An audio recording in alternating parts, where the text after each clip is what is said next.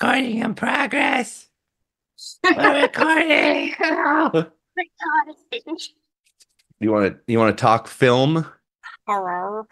Want to talk We got cinema? kicked out of showcase video for months. Uh, Why? Bobby Why, James? Bobby Fister was the, Oh, was you said his name. The whole thing. Oh wait, we said his name like 35 times in the podcast. Esquire Yeah. was the number two top money income person for this place because every weekend Oh, we would go and rent like he kept them in business. I see what you're saying. four or five four or five movies on Friday. If it was a like a, a weekend that we were allowed to stay two nights, No. we would bring those back and rent like four or five more.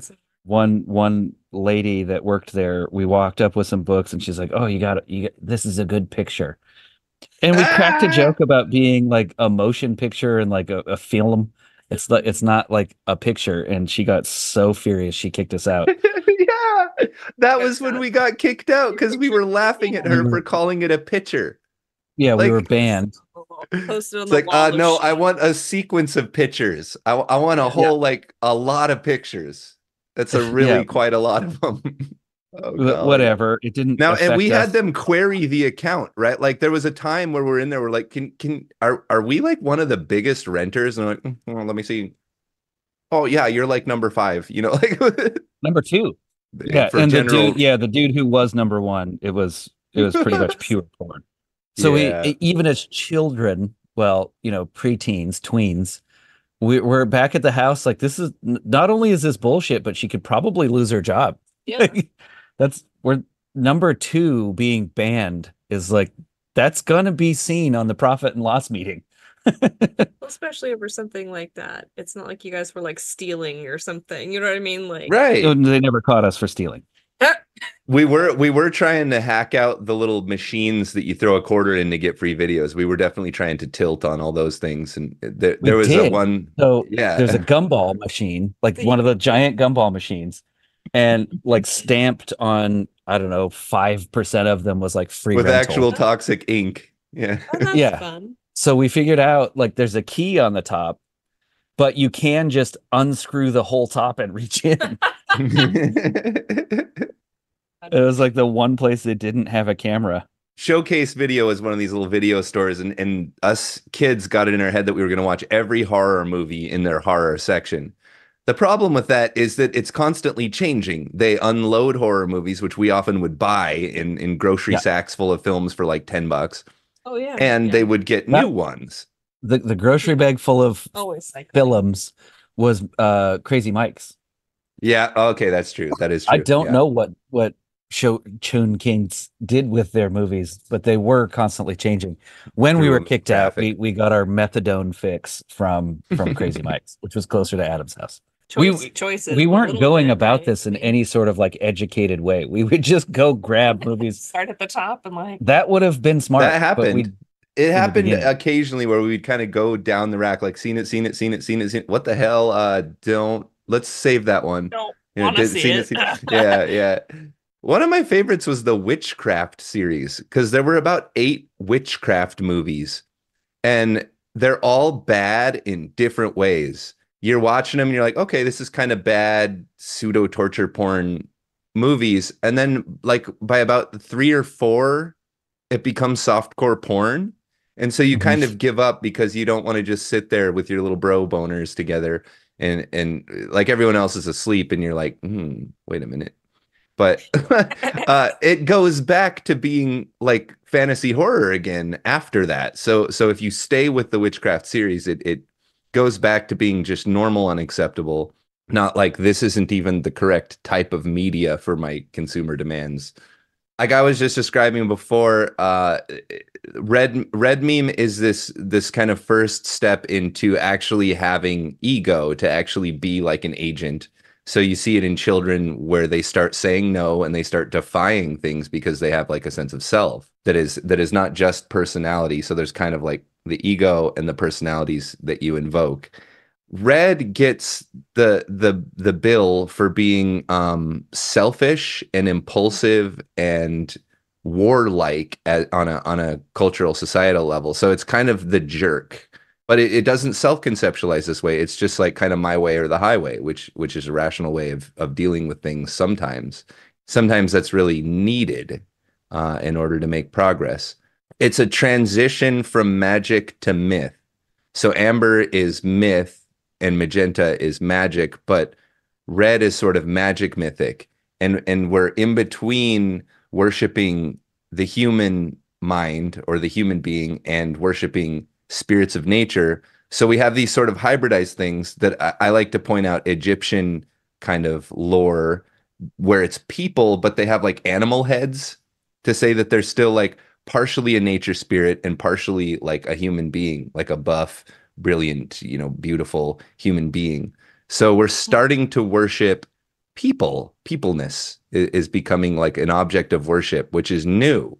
It used to be just like people were victims of the spirits, like the spirits were the power, and that was inflicted on us poor saps. But Red Meme is starting to worship humanity and the self, and that is reflected in religion, which is the fundamental way of understanding reality.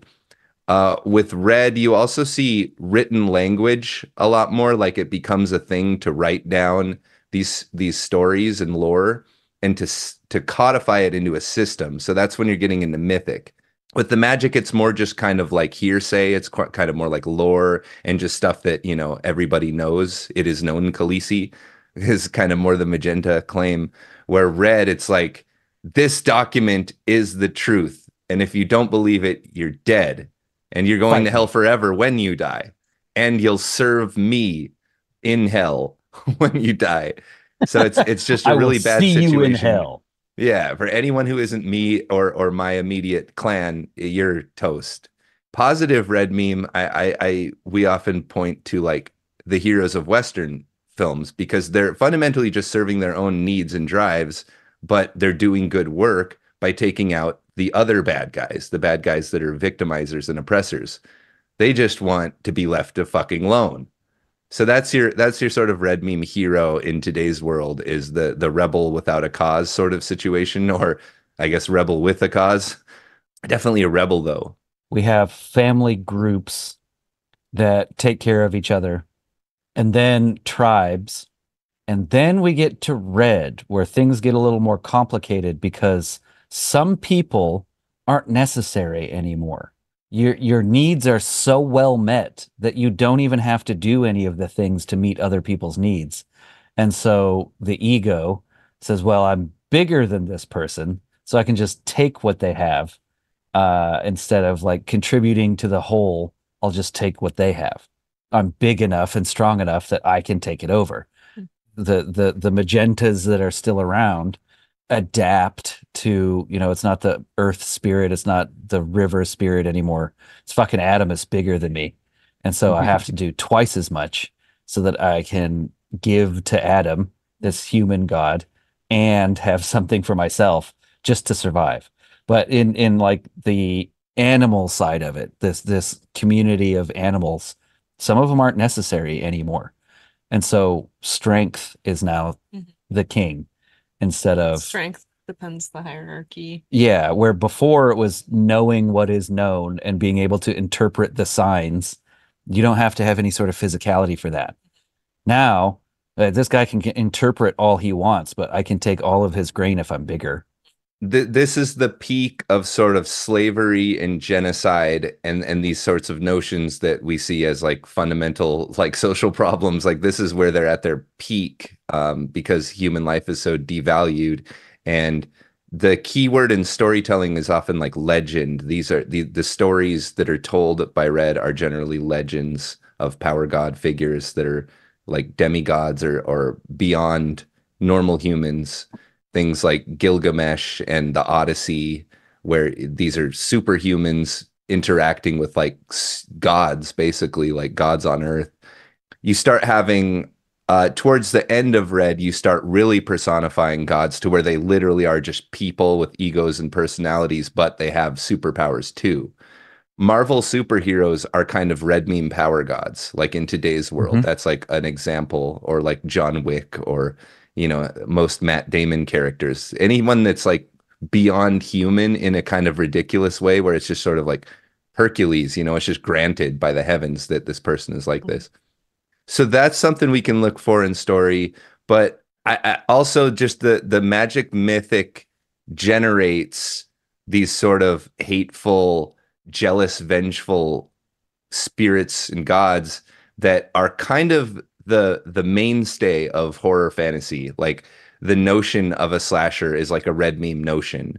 It's it's just lusty and angry and and horrible towards anyone who comes into its path but it's very much an ego and it very much has like drives and desires coming from its own immediate needs so we had said um bone tomahawk and now Haven't Still uh, haven't seen it. Uh, yeah, we haven't seen that yet. So Oh, okay. Can't Well, it's it. it's a period piece. It's a western, and in the context of the western, the the story is kind of that they find these cave people, these like not really troglodytes, but they they're magenta.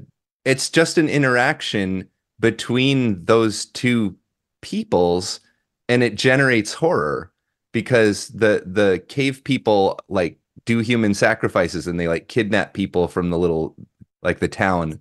In the western um american western like genre you're kind of at a confluence of a lot of memes you know like orange meme exists like rationality exists industry exists but you're out in a frontier and so it's kind of Mhm. like anything goes it's lawless. When the when the rule of like, law Mad breaks down it's very red Mad mad, max, absolutely I don't know if that counts as horror though. So like that's the only caveat I guess with that one. mad max is a really great example of of red Like, meme yeah Who's the most badass? Yeah, it's Yeah, like the, the to win, who has the you have to be firepower? worse. Yeah, you have to be harder Yeah. core. You have to be tougher. Absolutely, it's a battle of wills. It's a battle of strength. Yeah, Ego rules. might makes we- right. I mean, I don't want to jump too far ahead, but Orange gets into it by saying, "Hey, we we the weak who are the many can band together under a, under a, a flag, which is religion in most cases, and then the numbers outpower, uh, overpower the the smaller strong. That's the Yeah. clash we'll have there. in nearly every zombie movie, you see the collapse of the rule of law, and part of the post-apocalyptic fantasy is that it's now just like whatever you want to do here in this world, you can get away with it because there aren't these, mm-hmm. bi- there aren't police, there aren't, there isn't military. It's just make a bigger tank and you can take over a town and take all of its resources and Yeah. grow your own empire and be the ruler. Woody Harrelson's character in Zombieland Yes. needs the nerdy character just as much as the nerdy character needs mm-hmm. They the keep, they the, keep each the, other the in like check. strong They keep each other in check, kind of. They're That's that's an orange dichotomy the happening. perfect balance, right? You know, the rational, yeah, the rational one with like the crazy one who's also The strongest strong and good at killing. can be on his own, but Yeah. the strength and irrationality yeah. will be his, his His demise. downfall, Yeah. Where the So weak we had kind uh, of- can survive on his own, So but will be overpowered at some time. Zombieland is a good, yeah, horror slash comedy, maybe. And I always like to bring up Lord of the Flies here too. Again, it's like sort of pseudo horror. It, it is attempting to be like shocking and scary, but it's it's like you have Amber Orange meme children who I think they get in a plane crash, or or uh, maybe I'm getting that from Lost, but they end up like in an island setting, and they immediately, well, not immediately, but over the course of a period of time, they devolve to magenta, and then they evolve to red, and red is where it starts getting really scary because the meaner kids are the ones that take control and they want to just basically destroy and get rid of everyone that's not mean and strong. And they do it using fake made up stuff they're generating magical mythical um, content in order to control to socially control. So in the zombie movie in the post-apocalyptic we had mentioned zombies as being this kind of proxy for infrared. And then Mhm. you're trying to maintain the social order of amber orange but there's this red meme that now is empowered because we don't have the infrastructure of of amber and orange. And so that's when things collapse when when red is in equal footing with with amber and orange like it kind of is the strongest one it, it sort of takes power. And that's the function of it. That's what it's really good at is is organizing. Like it will get people organized in a way that's really dark and brutal, and that will result in in an actual functional civilization to some extent. So the the Vikings going all the way across to England and Scotland and Ireland easily took all of the the temples and and churches and all of this because they're bigger and stronger and power is is the ruler red meme is generally the character of villains in in general uh, a lot of the time the, Typically. the character of red meme is is villainous in nature uh, in in today's world um, one example i like to bring up is uh, child's play and chucky uh, Mhm. Chucky's a psychopath, and in a, Mhm. in in a way, in integral, a psychopath is someone who never who is like maybe biologically incapable of getting beyond red meme. Red has only accomplished understanding that I even have like a perspective and desires, and and they're just getting acquainted with that, and so they'll they can even be fully self aware of this and trying selfishly to fit in into society by pretending not to be that way. Like Mhm. through therapy that's kind of what they learn to do. They don't learn to have compassion. They just learn how to pretend and and how to like subdue that sort of drive to take power over others and victimize others a so sociopath so Chucky is is a serial killer, like to begin with, but he here comes the the magic mythic thing is he he's also like a, a small scale magician. So he has some ritual that he can transfer his soul into anything or anyone, it would seem, and he transfers it into a little fun doll that gets bought by a child. And then out of out of uh, out of emergency didn't want to that's not the plan yeah, to be this like weak doll it's it's It- out of urgency he has to he hated it, but it was very appropriate to his character ultimately. The the character is a really great example of Red Meme because Red Meme is funny. A lot of humor comes from Red Meme. It's it's a very funny meme, and Chucky's a very funny character. I I think we generally watch those movies because it's funny to see this little doll like kicking and stabbing and going nuts on these poor innocent people. i've always um, had a problem with those movies because of physics oh yeah, Like, so this this this doll It's like three pounds. who has a soul uh, and no it's- it's- muscles or bones. Yeah, it's a Yeah. doll inhabited by a, a human soul. It also affects gravity somehow because like it, it can actually like physically hold its own against adults. I guess it's just strength of will, man. I don't know. It doesn't really. Yeah, like how how does any of how how do you even move an arm when you're a doll? It, it- it's like Well, it's yeah, not the that- same stuff. Like more surface level than that. It's it's not a series of movies. Yeah, where where he like hides and then like cuts the Achilles and then stabs you when you're on the ground. He like muscles you to the ground. It's an equal fight uh physically in in the movies. It's like that's what? And interestingly, like um some of that lore, uh like in actual red meme society, like historically, there there were these sorts of rituals of like soul transference, um, generally migrating through the death process, which I guess is what Chucky does, but it's usually to get up into the heavens and be one of the stars or something like that. Um, or reincarnate reincarnation things things like that. I think he was being put to death or something. if He I is he remember correctly. escapade Oh, and then found himself cornered Oh, in like a doll factory found a voodoo. yeah. I was gonna say we're gonna have to rewatch and these had now. yeah had had to ditch his human vessel. and and so it's it's sort of a bleed between um m- magenta and red but but yeah soul transference that's it's the idea that like my ego transcends this form that i could actually mm-hmm. be another person or multiple mm-hmm. people and og zombie lore like old school zombie movies like white zombie that the band was based off of it's more a thing where you subjugate human bodies to your will. It's it's like like uh kind of vampirish thing where you you make like human golem drones out of out of people. You steal their will and and they become your slaves. It's a, a that's a very red meme concept that survives to this day. As you had mentioned, Red is typically the villain. And we we talked about it. We even wrote it down as like number one choice is Evil Dead. Uh, because Red in this case is our hero, Ash. So and and I ch- I ch- I like Evil Dead too because it's even better with the humor part of it, and and Ash is more of a jerk as it goes. He Yeah. becomes more of a jerk, more full of himself, uh, because he's fighting the legions of of the dead and undead. Again, you know, like a, an incantation to summon like a host of demons is a is a very like red red meme concept. So Necronomicon.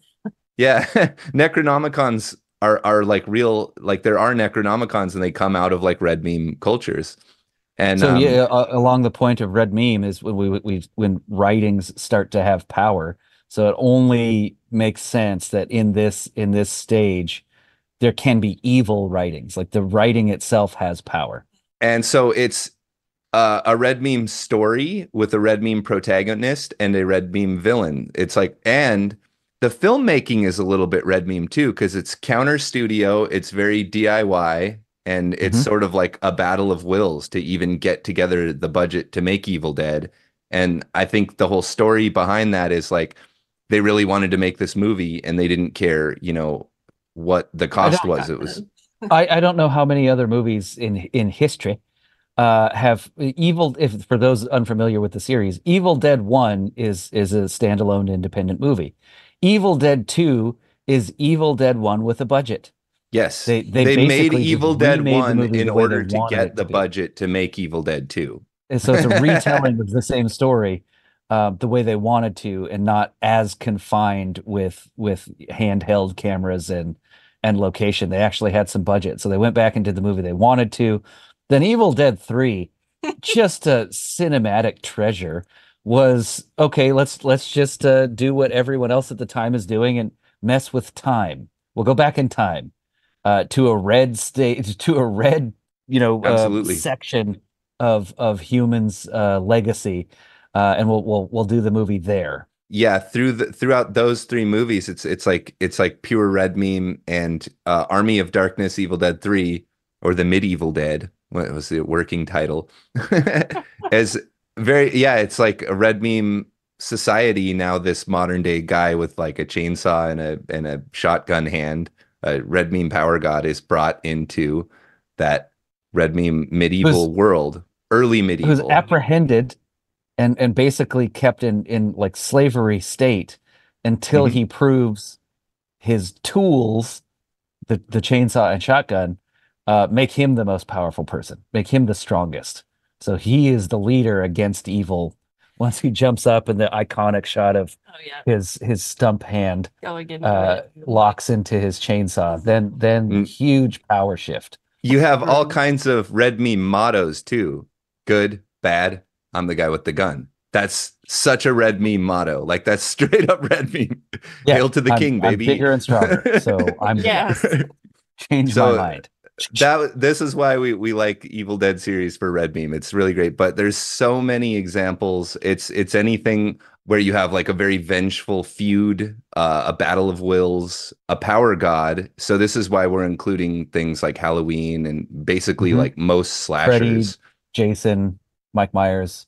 they're pseudo just magic mythic psychopaths. Yeah. Yeah. But like we said, like they didn't start that way necessarily, you know, like the first Jason movie, like, you know, it was it was the mom. Oh, he's not even in it. Yeah, and then but like but he he didn't start as like a god. I feel like it like he kind of like became one as this Revenge. Yeah, as the series progressed, you know. Revenge and undefeatable. Mhm, Yeah. Yeah. So that well, you're a god It's the now. perfect combo. Godlike. Just pure hatred incarnate. Yeah. Like Mhm. living to to get vengeance.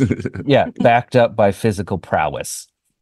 My, Michael Myers is, of course, like a, a psychopath, you know, like incapable of conceptualizing uh, the pain of others. And so it's like no empathy. Yeah.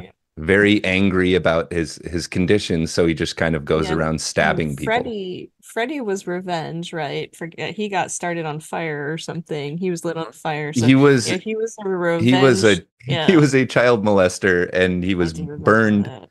the local townspeople burned him to death in the school Yeah, they took the law to their own hands. I remember that. Yeah. I, I my dad told me this and i thought it was one of his pranks but actually in nightmare on elm street part one it does say it's based on a truth true story and Yeah. what it's actually talking about is both Ed Gein, who's also the true story behind Hannibal and um, Texas Chainsaw Massacre. And it's like when you say a true story, it's it's often the Ed Gein story, Very Ba- loose. based on- loosely based on. based on. but also uh, Korean folklore of um, these spirits who sit on your chest and suffocate you to death in your sleep, which Yeah. a, a very real concern in in the sort of superstitious people of that cul- culture. And that's another part of why it says based on a true story because people actually die in their sleep and it's blamed on these spirits. Yeah, sleep sleep paralysis. There's also a phenomenon known as Korean fan death, where it was believed by people that having a fan in your window suffocated you to death. And because people believed that, it happened. And so it was an actual medical condition that, that was like diagnosable Korean fan death. It's a made up tale. So, I mean, placebo effect works both ways. Purely Like- psychosomatic. that boy needs therapy. Think of any any movie where there's someone or something that just Absolutely. overpowers, and that's how it wins. Uh, Little Shop of Horrors. The Mm. plant had the plant's like a bully and like Mhm. bullies uh the guy into feeding him Into blood. servitude. Yeah, exactly. Yeah. Because because Interesting. It's, it's the boss, right? So That I gets mean, I into the could see it could be a manipulation little- thing. it could be a little infrared too, because it's I, mean, I think it's an alien, you know, and it's like trying to get like primal needs, right? It's trying to survive. It's trying to survive. But- it does it through But, manipulation. yeah. yeah. it does it through manipulation. So because there is some smartness in there. the manipulative element that it's Mhm. when it talks to people it's trying to fool them into getting what it wants that's that's the Mhm. red meme like uh, creed little shop is is one of my favorites and i i have to recommend the al- alternate ending where instead of a happy thing where they go off and live with a white picket fence the um the plants take over the entire world and crush all the cities So yeah. More and there's a little musical number to it Oh. We got to check it. Yeah, it's uh, it's on YouTube. It, um, I, I I I don't know why they didn't stick with it. It's such a great ending. I was gonna say it ended. I remember it ending happy, but then Mhm. it, it pulls out and you see the little plants. Mhm. They're still like alive. So you're like, oh, Along shit. the picket fence. yeah, along the picket fence. So you're like, oh shit. So like there it's not dead and there's more of them. And so like it ended happy, but like not really. Yeah, But I don't remember like an actual like a taxi, scene. That would have been cool.